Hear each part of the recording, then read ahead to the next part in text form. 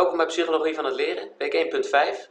Uh, dit filmpje staat het leerdoel De student kan onderscheid maken tussen cognitief, sociaal-affectief en psychomotorisch leren centraal. We weten ondertussen wat leren is en waar het uit ongeveer uit bestaat. Maar als we vanuit verschillende invalshoeken er naar kijken, beslaat het toch verschillende elementen.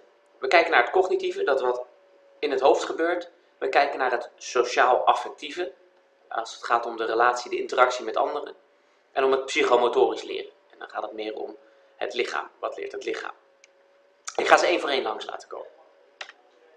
Als ik in eerste instantie kijk naar cognitief leren, wat dus in ons hoofd gebeurt, dan is dat vrij schools. We, we, leren kennis, zodat we dat op een later moment kunnen gebruiken. Uh, we weten, uh, als het gaat om memoriseren, we onthouden welke uh, theoreticus bij welke theorie hoort.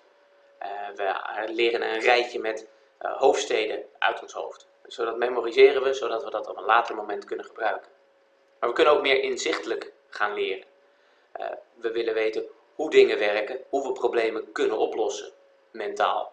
We snappen dat als we op deze manier naar een kubus kijken, dat, dat we zien van hé, hey, dat is de voorkant, maar ik weet ook dat er een achterkant aan zit. Dat inzicht, dat kan ik leren. En ik kan ook leren dat die achterkant er anders uit zou kunnen zien.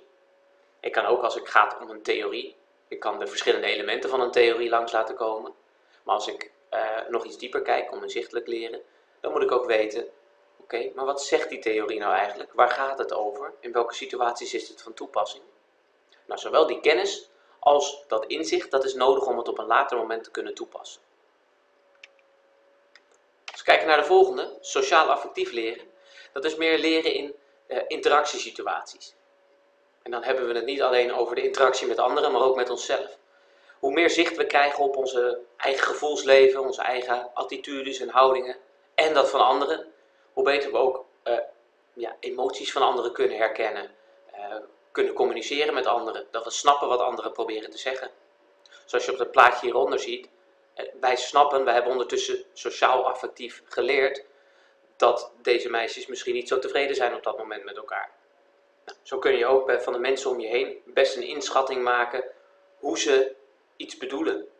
En we hebben dat sociaal effectief geleerd. Ik weet dat ik mijn moeder op een bepaalde manier moet aanspreken. Ik weet dat ik mijn broertje op een bepaalde manier moet aanspreken. Ik weet dat als ik op het voetbalveld tegen mij zeggen: Hé hey, sukkel, je speelt die bal verkeerd. Dan weet ik dat ze niet per se mij bedoelen. Dat ze mij persoonlijk aanspreken, maar dan weet dat dat in die situatie een bepaalde betekenis heeft. Dat ik de volgende keer de bal anders moet spelen.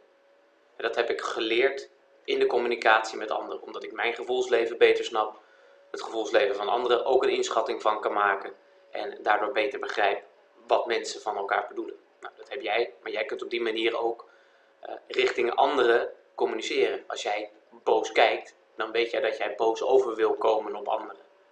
Je hebt geleerd dat dat ook het effect heeft. Als jij fronst, dat anderen dan snappen dat jij of serieus of wat bozer bent. Kijken we naar de laatste. Psychomotorisch leren. Uh, dan gaat het over verwerven van automatismen op het gebied van menselijke motoriek. Dat gaat dus echt om ons lichaam.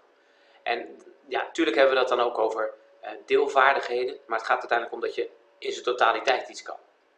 Het voorbeeld op het plaatje is dat kinderen leren op een gegeven moment te fietsen. Ja, dat bestaat uit een aantal deelaspecten. Dus ze moeten hun evenwicht bewaren, daarvoor moeten ze leren hoe dat werkt. Ze moeten leren dat ze hun voeten moeten bewegen. Ze leren vanzelf op het moment dat ze genoeg vaart maken dat ze uh, makkelijker in evenwicht kunnen blijven. Uh, en je ziet dat dat dan langzaam maar zeker vooruit gaat. Niet heel geleidelijk, nee, dat gaat met sprongetjes. Ineens kan je lopen, ineens kan je fietsen.